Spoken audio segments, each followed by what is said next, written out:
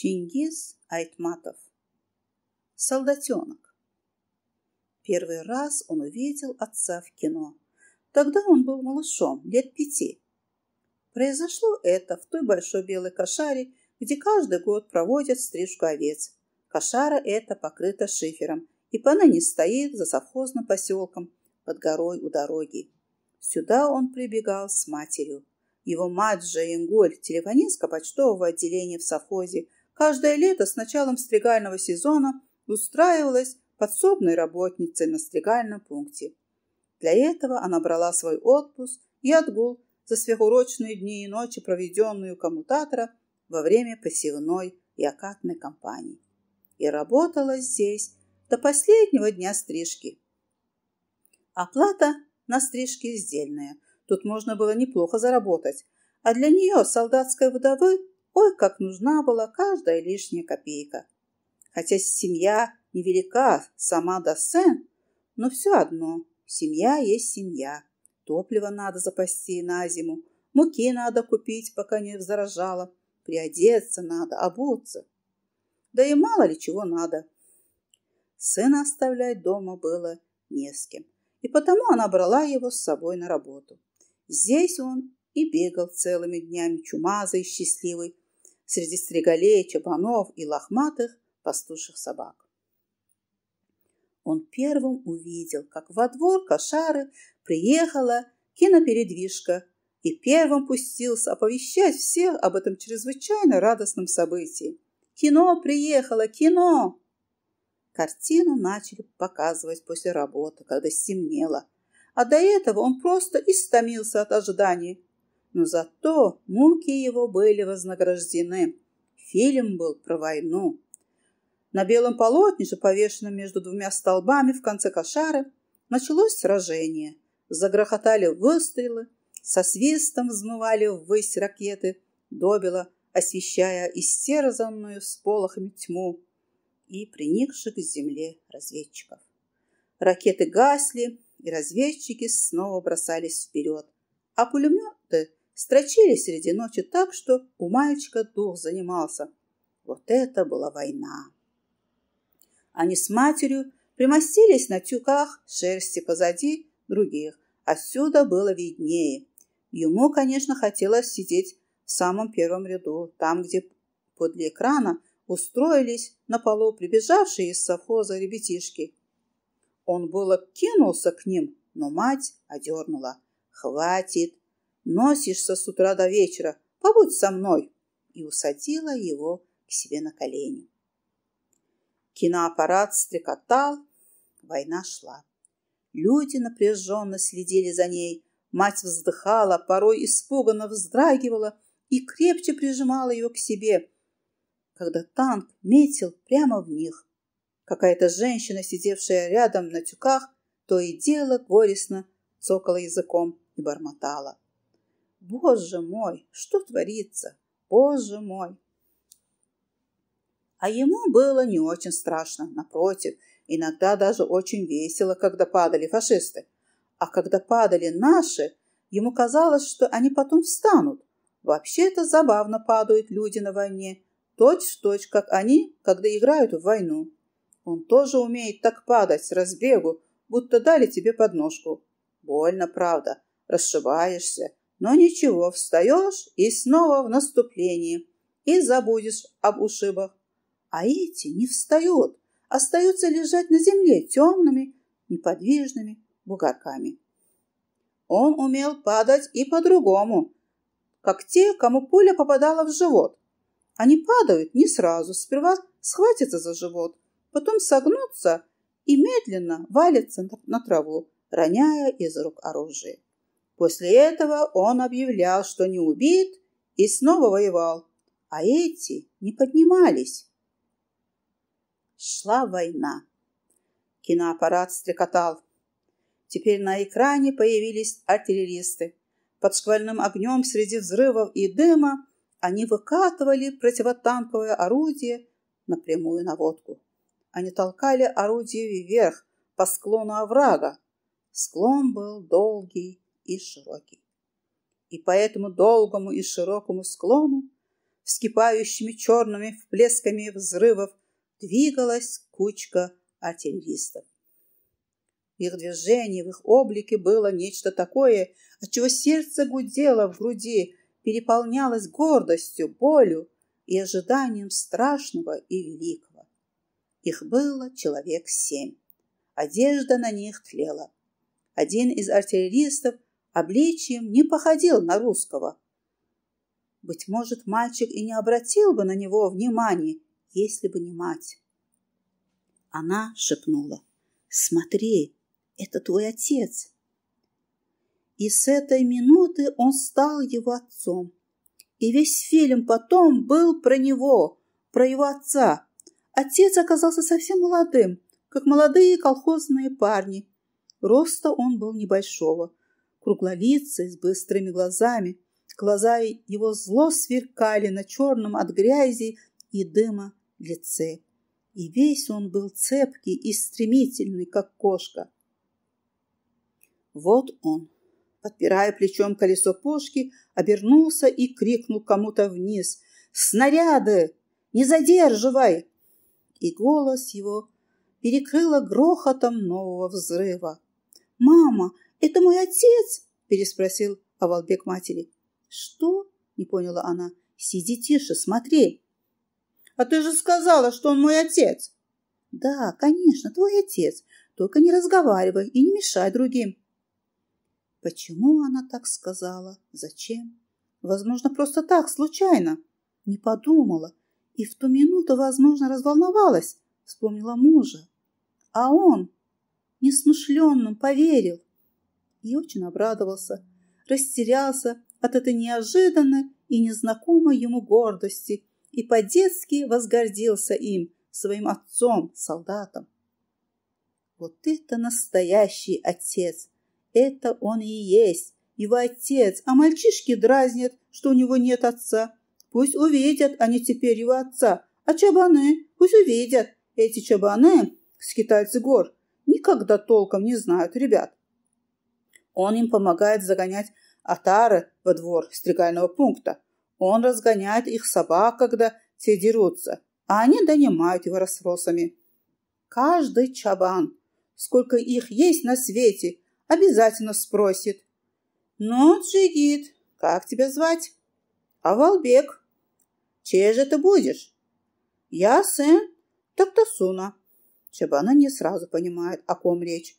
«Тактасуна?» – нагибаясь с седла, переспрашивают они. «Это какого же Тактасуна?» «Я сын Тактасуна», – твердит он. Так велела отвечать мать. И слепая бабушка наказывала не забывать имя отца. Она уши надирала ему за это. Злая. А, постой, постой, так ты сын телефонистки, что на почте. Так ведь?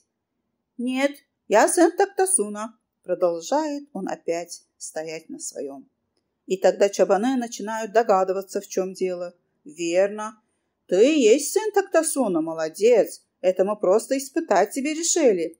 И не обижайся, Джигит. Мы круглый год в горах, а вы тут растете, как трава. Трудно узнавать детвору. И потом они между собой долго припоминают его отца. Перешептываются, говорят, что он совсем молодым ушел на фронт, и многие уже не помнят его. И хорошо, что остался сын.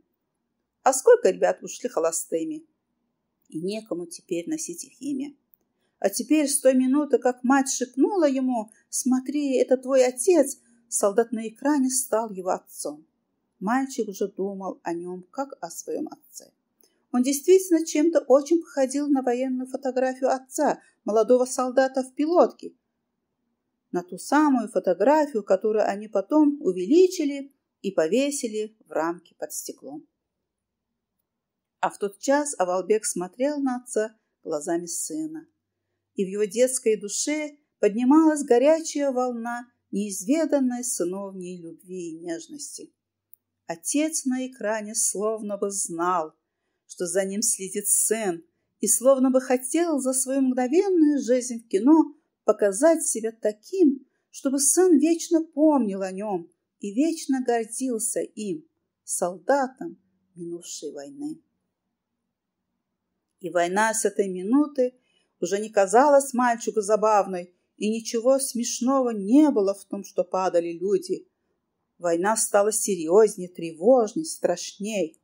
И он впервые испытал чувство страха за близкого человека, за того человека, которого ему всегда так не хватало. Киноаппарат стрекотал, война шла. Впереди показались наступающие танки. Они грозно надвигались, кромсая землю гусеницами и разворачивая башню сходу, стреляли из пушек. А наши артиллеристы, выбиваясь из сил, тащили орудие наверх. «Скорей! Скорей, папа! Танки идут! Танки!» – торопил отца сын. Наконец пушку выволокли, катили в кусты орешника и начали палить по танкам. А танки полили в ответ. Их было много. Жутко становилось. Сыну казалось, что он сам тоже там, рядом с отцом, в огне и грохоте войны. Он подпрыгивал на коленях матери, когда танки горели черным дымом, когда гусеницы их слетали с колес, когда они слепо и злобно крушились на одном месте. Он притихал, собирался в комок, когда падали наши солдаты у орудия. Их становилось все меньше и меньше, а мать плакала. Лицо ее было мокрым и горячим. Киноаппарат стрекотал, война шла. Бой разгорался с новой силой. Танки подходили все ближе и ближе. Пригнувшись у лафета, отец яростно и громко что-то кричал в трубку полевого телефона. Но ничего нельзя было разобрать в грохоте. Вот упал еще один солдат у орудия. Он пытался встать, но не мог. Ткнулся в землю, и земля почернела от его крови. Вот они остались только вдвоем. Отец и еще один солдат. Они дали еще один выстрел, затем два подряд. Но танки наседали. Вот ухнул еще один снаряд подле пушки. Взрыв, огонь и тьма. Из земли поднимается теперь только один. Это его отец. Он снова кидается к орудию, сам заряжает, сам наводит. Это последний выстрел. Снова взрыв окутывает экран. Пушку отца искорежила и отбросила в сторону. Но сам он еще жив. Он медленно встает с земли и идет, обгоревший в дымящихся клочьях одежды, навстречу танку. В руках у него граната. Он уже ничего не видит и не слышит. Он собирает в себе последние силы. «Стой! Не пройдешь!» Он замахивается гранатой и замирает на секунду в этой позе с искаженным от ненависти и боли лицом.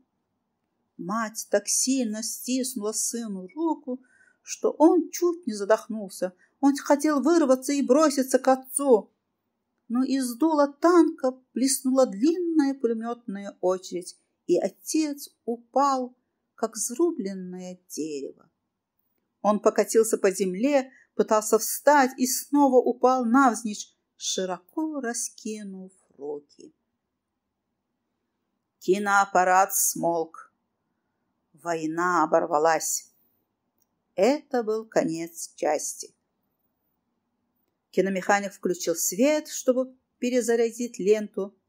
Когда в кошаре вспыхнул свет, все зажмурились и заморгали глазами, возвращаясь из мира кино, из войны в свою реальную жизнь.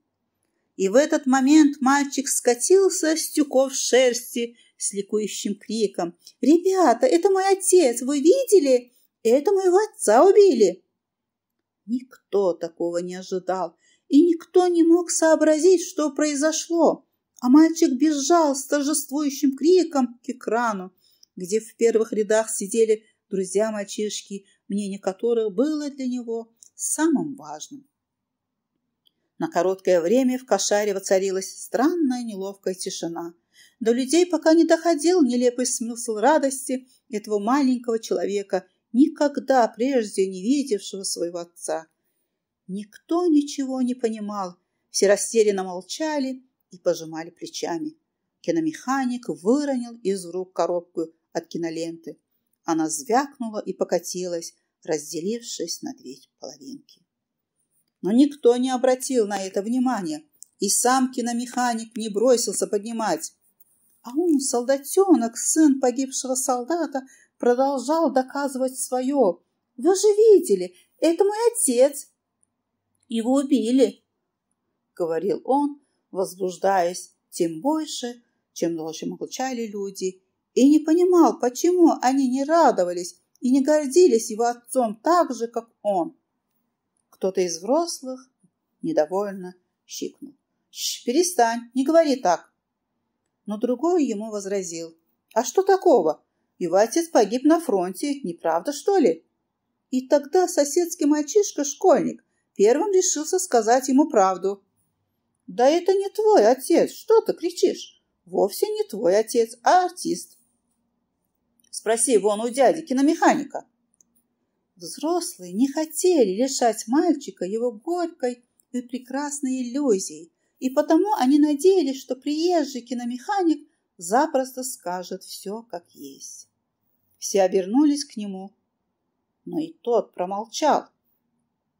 Уткнулся в аппарат, будто занятый очень. «Нет, мой отец мой!» — не унимался солдатенок. «Какой твой отец? Который?» — снова заспорил соседский парнишка. «Он шел с гранатой на танк. Ты разве не видел? Он упал вот так!» Мальчик бросился на землю и покатился, показывая, как упал его отец. И сделал это в точности, как было. Он лежал перед экраном навзничь широко, раскинув руки. Зрители невольно рассмеялись, а он лежал, как убитый, и не смеялся. Снова наступила неловкая тишина. «Да что же это? Куда же ты смотришь, Джейн С упреком проговорила старая женщина Чабан, и все увидели, как мать шла к сыну, скорбная и строгая, со слезами на глазах. Она подняла сына с земли. «Пойдем, сынок, пойдем. Это был твой отец», — тихо сказала она ему и повела его за собой из кошара. Луна стояла уже высоко.